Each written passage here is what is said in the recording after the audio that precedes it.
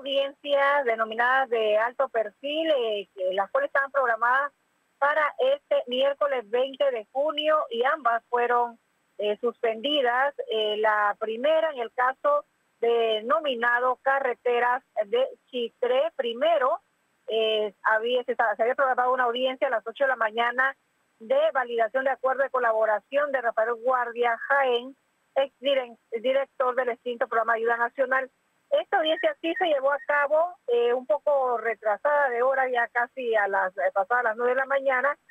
Se llevó a cabo de manera rápida. Simplemente el juez Leslie Loaiza, el juez decimoquinto penal, verificó que se cumplieran con todos los requisitos establecidos para eh, que se firme un acuerdo de colaboración y que la parte, en este caso, el señor Guardia estuviera de acuerdo y validó este acuerdo de colaboración en el caso relacionado con delitos de corrupción, denominado este expediente carretera de Chitré. Posteriormente, se tenía programada la audiencia preliminar donde hay varias personas sindicadas, sin embargo, fue reprogramada para el mes de julio debido a que uno de los abogados de la defensa que representaba cuatro de los imputados no estaba preparado para esa audiencia preliminar y el juez Lady Loaiza decide reprogramar esta audiencia en el juzgado decimoquinto penal y en el en la investigación, en este proceso en contra del ex rector de la Universidad de Panamá, Gustavo García de Paredes,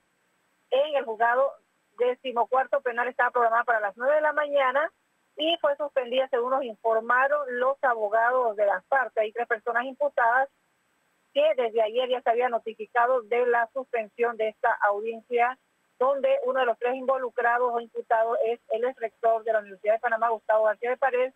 En este caso, la Fiscalía Anticorrupción presentó un incidente y el cual debe ser resuelto por el segundo Tribunal de Justicia, según nos informó de manera oficial y de manera eficiente la, la oficina de prensa del órgano judicial. Así es, amables televidentes, estas dos audiencias fueron reprogramadas. La única que sí se pudo llevar a cabo la audiencia de validación de acuerdo de colaboración del el señor Rafael Guardia Jaén, director del extinto programa de ayuda nacional. En Lucía de entrar a la sala de audiencia del segundo tribunal de justicia con su bastón. El abogado Víctor nos dio una breve declaración indicando que eh, ya poco a poco van cerrándose estas investigaciones eh, relacionadas con el programa de ayuda nacional. Estas investigaciones eh, todas, por supuesto, delitos de corrupción y también eh, de eso se trataba esta audiencia eh, conocida, en este caso como Carreteras de Chitré.